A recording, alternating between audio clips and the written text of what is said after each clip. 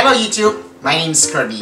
In today's video, we are going to be focusing a little bit on my first time filleting a fish. A really big fish with my new knife. So, the special ingredient that we have today is gonna be something a little bit, well, the truth. Because the special ingredient that we have today is a fresh fjord trout. There are many several brands of fjord trouts that's being transported all the way from Norway to Malaysia once or twice per week. But you see, the brand called Lerøy is actually one of the most popular brands among all. There's actually other kinds of brands, maybe Ferda, Hofseth, Kos, I don't know, there's plenty of other kinds of brands, but I kind of say that this brand, Lerøy, is actually one of the most popular brands that is available in the market all around Malaysia. The fish is not from Malaysia, obviously, but a lot of Japanese restaurants, they tend to use this as a substitute of salmon thanks to its fatty content, the color, and of course, the price actually. Because this fish is actually slightly cheaper than Atlantic salmon. You can see that this box here actually shows that this is a really nice premium grade fresh trout. You can actually see the label here, the name, the weight of the fish, and the importer, and quite a number of barcodes which I hardly even understand what it is. So, now then, with the nice new catchphrase that I've come up with, now I'm gonna say nicely and safely. Let's create a dish.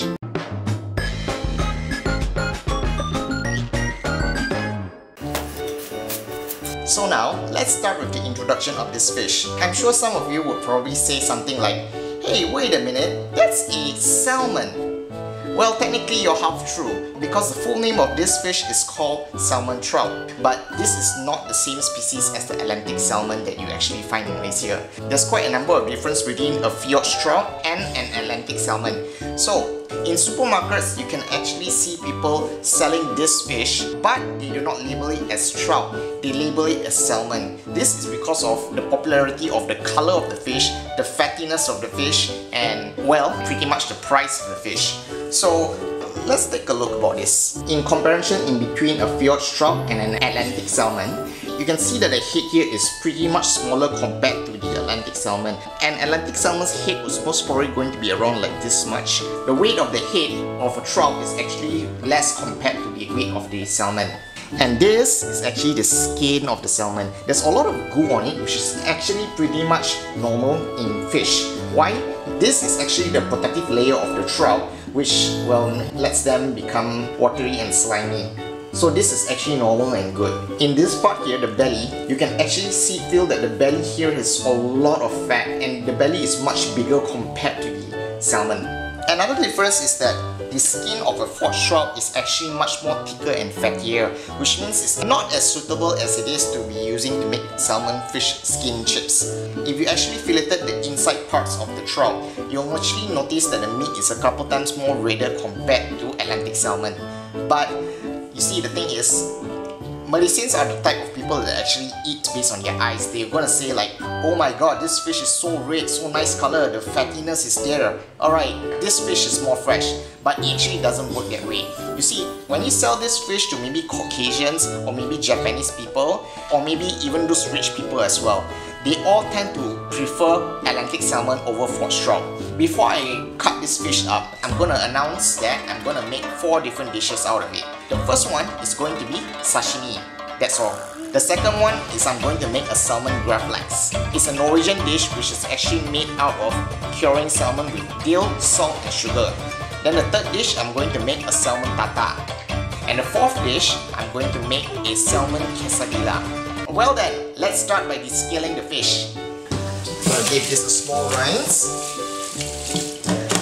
Gonna scrape all the scales off one by one.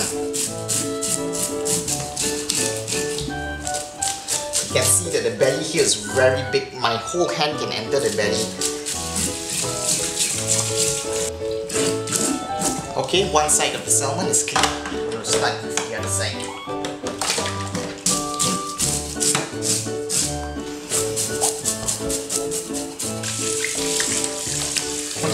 Back on the board. Descaling is done. Now the camera can totally see that the skin is significantly whiter compared to the salmon. Salmon sometimes they have this dot dot dot dot dot dot dots but for the trouts they don't really have it. So now I'm to open here and see, wow, this is the amount of fat the belly part here is really really nice and oily and the Japanese restaurants they like to call this as the otoro part. Trust me, this is very nice to eat. So I'm gonna start filleting the fish but before that, I'm going to introduce a new addition to my knife family. I bought it yesterday just for this. A Japanese deba knife. This is going to be a very very useful knife to fillet fish or do a lot of multi-purpose items. So I'm going to unbox it here. Okay, bit I got it for a discounted price. Wow and feel how sharp this is right now. Alright, can't wait to wash it and then I'm going to fillet the trout with this knife. To do a V-cut head, I'm going to put my knife here at around the collar and then I'm just going to slice it here like this. Oh, still slippery. But that's a good sign though. And then turn it around. Cut it here like that. This is called a V-cut. Okay, done. The next thing I'm going to do is I'm going to make an incision here and separate the belly bones between the spine. So I'm going to start by cutting one straight line here like that. So I'm going to cut just a little bit part here. You, most probably can feel the bones around here and then turn the fish around. Then after that, just above the fin here, I'm going to make another line. So this line, I'm gonna cut it around here like this. Oh, still slippery.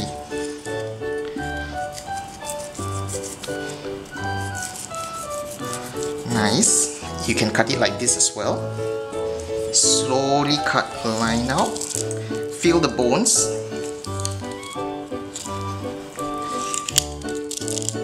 Making an incision here. Continue the incision. I'll get better at this in no time. And done. Ooh, my meat is kind of damaged by a little, but oh well, I'll trim it later.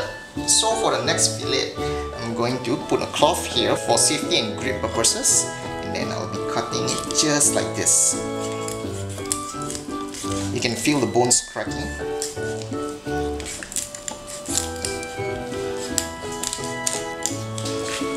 Okay, I don't really like this Deba knife, but I can't really blame the knife on everything. I just really need to get used to the knife, that's all.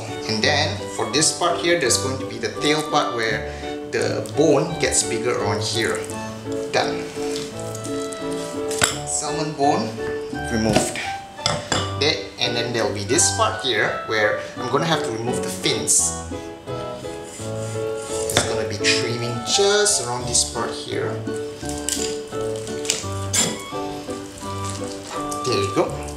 Well, not really that good in filleting, but oh well.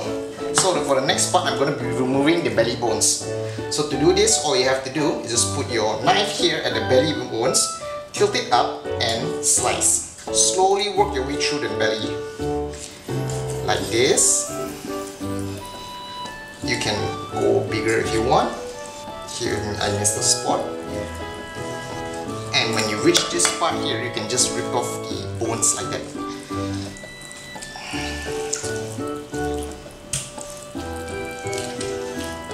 Okay, I haven't reached the end.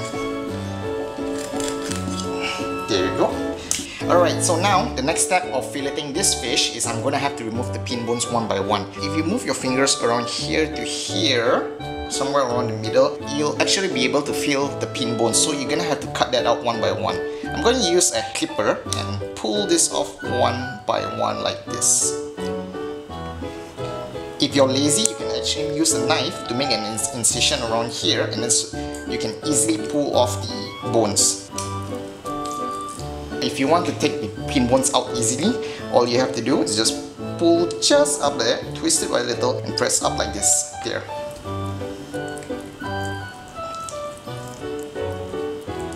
So pretty much all the pin bones are removed. So right now I'm going to portion the salmon. I'm going to use half of salmon. The other half I'm going to give it away to my brother-in-laws. So I'm going to start the next part of the video by portioning the fish. I'm going to start with the Gravlax portion. I think I'm going to make around this much. So I'll be cutting around here. Next, sashimi part. Sashimi I'll be taking around maybe around this much. This should do. Then I'll be cutting the middle over here like this and remove the skin. Alright, this is the sashimi part. And this part is the part that I'm going to use to make the salmon quesadilla. I'm going to mix the belly and some meat together. Next up, we have our salmon tartar. So, salmon tartar, I think I'm gonna mix the belly part with the meat part as well. So I'm gonna cut approximately around this much. This much will do pretty much the same way. I'm going to remove the skin. Okay, done. So portioning is done. I'm going to keep this part of the salmon for some other day when I'm actually hungry for salmon. Well then, the first thing I'm going to do is to start by cutting my sashimi. So sashimi is actually just raw fish. So yeah, here I go. Slicing. One slice, two slice, three slice. Okay, so I'm gonna place it here like this. So I'm gonna leave this in the fridge while I prepare the other meals.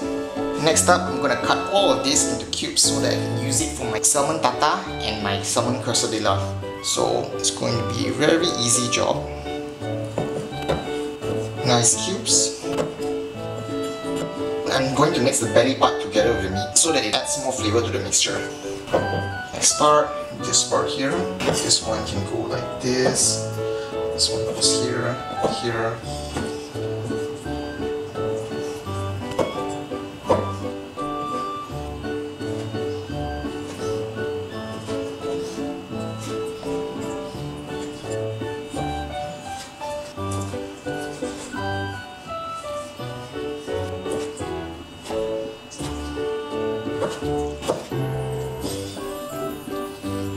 Okay, I got pretty much all I need for my salmon quesadilla and my salmon tartar. Now that my butchering job is just about done, so I'm gonna start by making my salmon gravlax. The ingredients is actually pretty simple for my recipe. Salt, sugar, dill leaves, and some lime. That's all. So we're to start with cutting off our dill leaves. This packet except one a dill leaf, maybe this. I'll put this back here for tomorrow. So I'm gonna cut all of this here. It really doesn't matter what kind of size I cut it to because I'm going to wash all of these pieces off by the next day. So just make it thick. A little bit stalk is okay. Alright, dill leaves done. So transfer it here. A little bit lime zest of lime juice. Done. And now a generous amount of sugar and salt. The sugar and salt is going to be balanced pretty much with each other. I'm going to need probably around this much.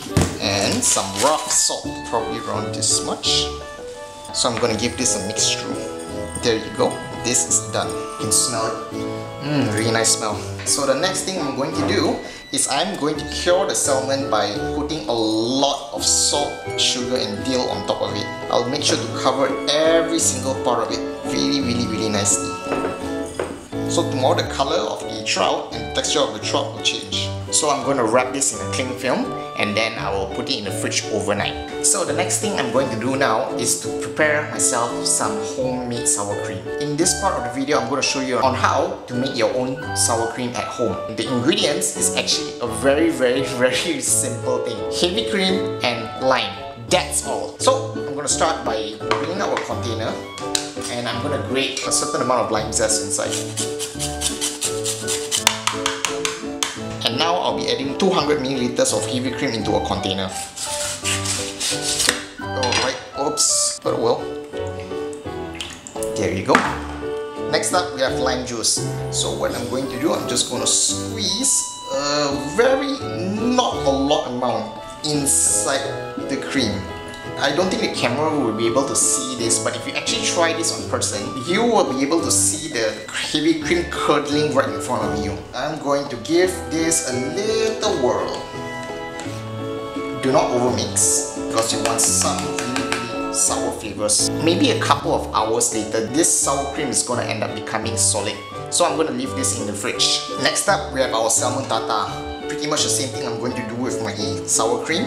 Just add in some lime, that's all. I'm going to leave this in the fridge overnight and by the time it reaches tomorrow, the color of this will change and so is the texture and everything. And now I'm going to make some cube avocado. So it's gonna be a very easy thing to do. All you have to do is just slice down here to the seeds and turn the avocado around. Yep, I'm going to scrub out the seed here.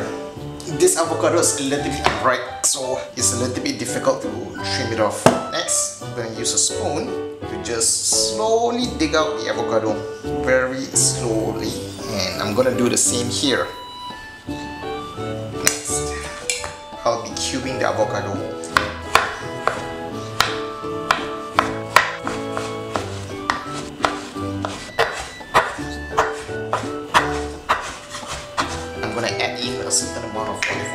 This mixture. Alright. So next up I have some tomatoes, some amount of basil leaves, some shallots, black pepper, salt and olive oil. I'm just going to make a simple tomato salsa. So start by this, remove the stem, cut it by half, remove the seeds, and I'm gonna dice every single one of these. Next up we have some nice sweet fresh basil. Basil, they have a strong flavor and basil actually syncs really really well with tomato. There you go. Next, shallots. Here I go.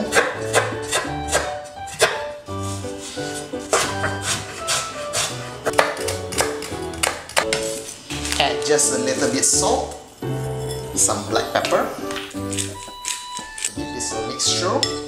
Salsa is done. Next up, I'm gonna have very very simple condiments for my quesadilla. So I'm gonna start with some red pepper and green pepper. I'm probably going to use only the top parts for the quesadillas. So I'm gonna cut here. Next, we have some shallots. Oh, Alright, condiments done. And now I have some mozzarella and some cheese. So I'm just gonna grate the cheese right now. Grated cheese done. Next up I have some mozzarella.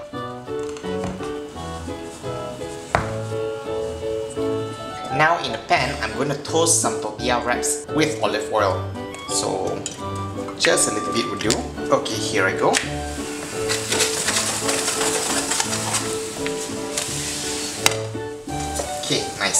I'm going to get another wrap.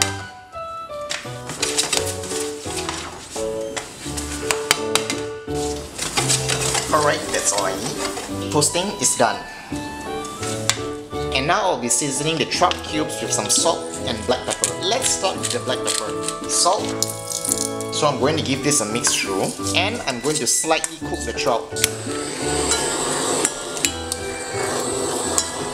Alright, that's all I need. In with my cheese, mozzarella, my condiments. I'm going to add some dry chili flakes, my salmon. I'm gonna top it here with more cheese. Right, so I'm going to press this right here and I'll be popping this thing into the oven. Okay, the oven is pretty much hot right now. Okay, and now we wait. This part here is done. I'm gonna cut this into six portions.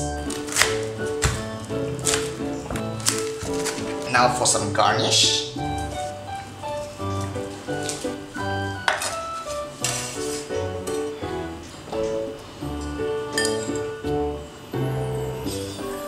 Done. Alright, the trout has been sitting in the chiller over one night. Can see that the meat, it was kind of red yesterday and now this is what you call pink. A pink cured salmon tartar.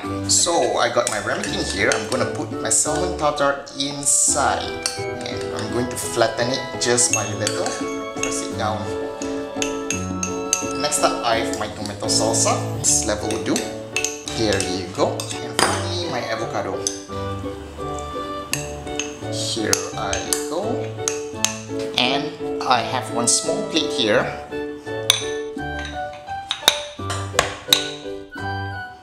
Beautiful job of art. I'm going to torch this just a little. And then I have some lumpfish caviar here just for decoration. I'm gonna put this right here. Well, it's pretty much a failed job of art, but oh well, it's nice. Well then, salmon tartar done. So this is what my Gravlax actually looks like after it was marinated for over a night in salt, sugar and dill and some lime. So you can see that there's a lot of water coming out from it. So the next step what we're going to do is we're going to wash all of this out. This trout has already been cured and it's ready to eat. I'm gonna wash this off. You can see that the fish is like kind of dry right now. And next part, I'm gonna sprinkle it on top of Gravlax. Just a little bit nicer. But look at the color. I didn't really expect that the trout ends up becoming super red in color. So now I'm gonna just pre-slice it like this. Wow, the meat looks fantastic.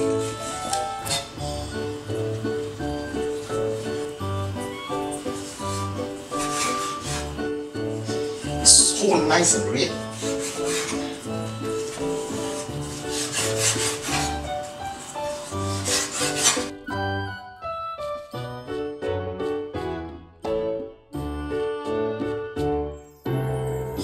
sour cream on top just like this. Gravlax trout done.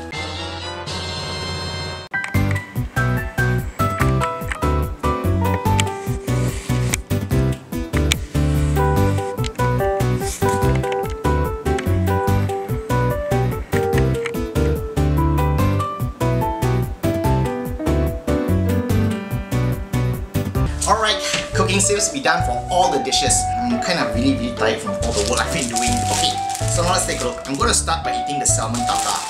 But I want to eat it with a piece of bread. So, cutting this out. Salmon, avocado and tomatoes goes in.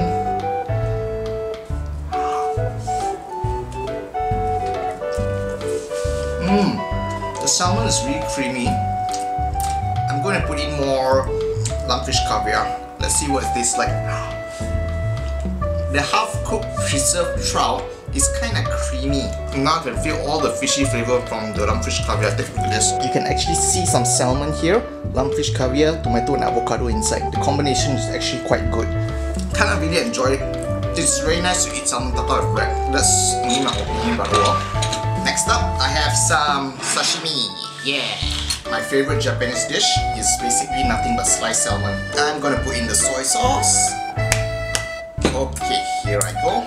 Itadakimasu, nice thin salmon. Mmm, now this is really fresh, really nice and fresh. Mmm, the meat is like jelly, but I have to say it tastes like a typical sashimi from any Japanese restaurant that I go to. But well, moving on to the next one of this, quesadilla. Okay, baked my quesadilla to perfection. I can feel the cheese, everything inside it. I'm gonna put some sour cream on top. Now I'm gonna pick it up and eat it.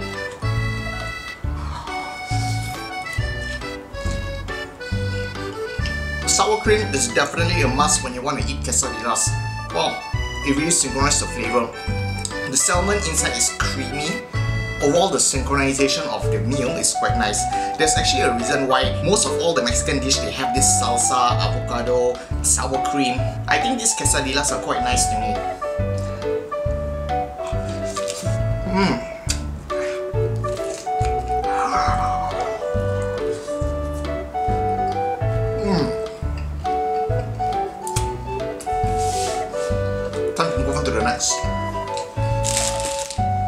Gravlax. Okay, let's see what exactly it tastes like. To be honest, this is actually the first time I actually ate trout Gravlax. So here I go. Putting some sour cream on top.